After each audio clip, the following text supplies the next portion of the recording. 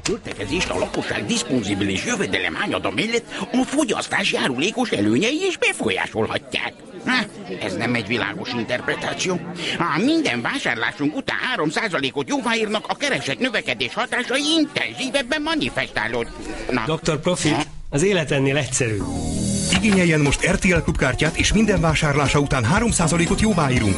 RTL klubkártya, az élet egyszerű. Ez az, kicsit pontosabban. De egyébként jó.